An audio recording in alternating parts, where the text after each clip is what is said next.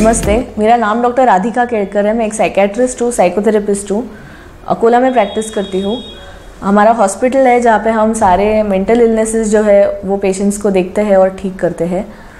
आज मैं आपको एडजस्टमेंट डिसऑर्डर के बारे में बताने वाली हूँ। एडजस्टमेंट डिसऑर्डर एक डिसऑर्डर नेम मतलब नाम दिया हुआ है साइकेट्री में जिसे मतलब नॉर्मली भी ये हमें दिखता है या फील कभी महसूस होता है या फिर काफ़ी लोगों ने ये एक्सपीरियंस भी किया होगा।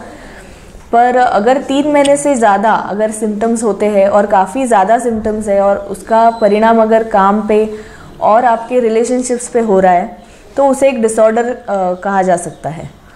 तो एडजस्टमेंट डिसऑर्डर यानी कि बेसिकली एक कॉमन डिसऑर्डर है टू टू एट परसेंट लोगों में ये हो सकता है। यानी कि नाम जैसा है एडजस्टमेंट डिसऑर्डर यानी कि कोई भी अगर चेंज हुआ लाइफ में तो एडजस्ट होने में जो प्रॉब्लम आती है और अगर बहुत ज़्यादा प्रॉब्लम हुई तो ये डिसऑर्डर हो सकता है।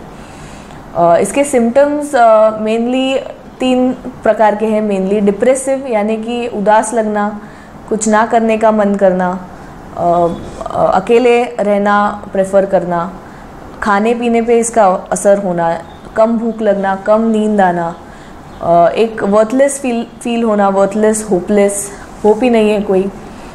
ऐसा फील होना या फिर आ, आ, मतलब मरने के विचार आना ये डिप्रेसिव सिम्टम्स है। एंग्जाइटी यानी कि पैल्पिटेशन होना घबराहट होना छाती में धड़धड़ होना वरी होना एक प्रकार की चिंता रहना हमेशा कि क्या होगा आगे ऐसा।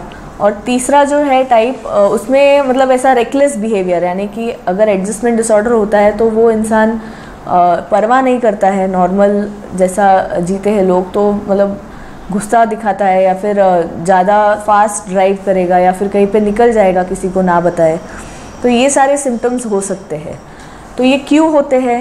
ये बच्चों में और बड़ों में, दोनों में हो सकता है एडजस्टमेंट डिसऑर्डर बच्चों में अगर कोई चेंज होगा, उनके एनवायरनमेंट में चेंज होगा, यानी कि हम काफ़ी बार देखते हैं ट्रांसफर्स होते हैं पेरेंट्स की तो वो बच्चों को भी जाना पड़ता है जगह छोड़ के, उनका घर छोड़ के नई सिटी में जाना पड़ता है नई स्कूल में जाना पड़ता है ये तो सारा ये एडजस्टमेंट इशू हो सकता है क्योंकि वो बच्चे का एक रूटीन सेट हो गया है और वो अगर शिफ्ट हो गया और उसको अगर ये टेंडेंसी है एडजस्टमेंट डिसऑर्डर या फिर ऐसी टेंडेंसी है जो उसे पसंद नहीं आता चेंजेस तो ये एडजस्टमेंट डिसऑर्डर हो सकता है। uh, या फिर uh, कोई मतलब उसको अगर कोई भाई या बहन हुआ यानी कि एक सिबलिंग का बर्थ हुआ तो वो हो सकता है। या फिर डेथ अगर फैमिली में पेरेंट्स की वन ऑफ़ द पेरेंट्स की या फिर क्लोज रिलेटिव्स की अगर डेथ होती है तो और वो कोप नहीं कर पाया बच्चा तो ये एडजस्टमेंट डिसऑर्डर हो सकता है। बड़ों में इससे ज़्यादा कारण है क्योंकि बड़ों में प्रॉब्लम्स ज़्यादा हो, ज़्यादा होने के चांसेस है क्योंकि जॉब्स रहते हैं रिलेशनशिप्स रहते हैं रिस्पॉन्सिबिलिटीज़ रहते हैं। तो अगर जॉब में टेंशन है अगर बॉस के साथ कोई प्रॉब्लम है या फिर कलीग के साथ कोई प्रॉब्लम है डिपार्टमेंट बहुत सारे पेशेंट्स आते हैं कि उनका डिपार्टमेंट शिफ्ट हो गया तो उन्हें एडजस्टमेंट प्रॉब्लम्स होती है। नए लोगों के साथ एडजस्ट करने में नए बॉस के साथ एडजस्ट करने में। अगर जॉब शिफ्ट हुआ तो होता है। फाइनेंशियल प्रॉब्लम्स आई बीच में। अगर कुछ कट uh, डाउन हुई सैलरी या फिर एक्सपेंसेस बढ़ गए तो वो हो सकता है। लोन्स अगर रहेंगे तो हो सकता है। और कारण यानी कि मराइटल प्रॉब्लम्स रहेंगी स्पाउस के साथ वाइफ के साथ हस्बैंड के साथ तो हो सकता है।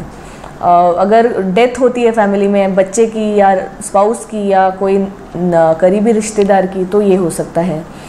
और जो कारण है, वो है किसी के साथ झगड़ा हो गया, काफ़ी बड़ा झगड़ा हो गया आर्ग्यूमेंट हो गया, कोई कोर्ट केस हो गई लीगल मैटर हो गया तो ये सब जो है, वो बहुत स्ट्रेसफुल सिचुएशंस रहते हैं, जिसके कारण एडजस्टमेंट डिसऑर्डर हो सकता है।